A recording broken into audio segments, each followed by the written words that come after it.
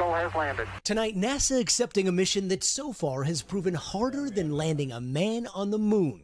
Now hoping to help answer the mystery of UFOs with a new study. I think it's it's really exciting. It almost feels like opening a new book. NASA's announcement coming on the heels of a new office set up at the Pentagon to investigate top secret encounters between pilots and unidentified aerial phenomena flying in restricted airspace. There's a whole fleet of them. But unlike the Department of Defense, NASA says their findings won't be classified and could even include reviews of videos captured by civilians. What is going on right now? Up until recently, public sightings have gone mostly ignored by the scientific community, like this video captured by a film crew in the Utah desert of an object moving at extremely high speeds having NASA be able to apply the scientific method to this and really um, rule out what these aren't first and starting from there um, is huge. NASA says they hope to eventually cross reference credible sightings with solid data like satellite images or atmospheric records. But as for what they are, so far we've seen NASA say that there's no evidence that this is extraterrestrial life. But does that mean that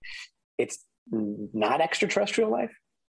I'm a scientist, and uh, if somebody asks me, is this extraterrestrial life? Frankly, at this moment in time, the simple answer is the right one, which is I don't know. A promise to keep an open mind and boldly study what no space agency has thoroughly investigated before. Gadi Schwartz, NBC News, Los Angeles.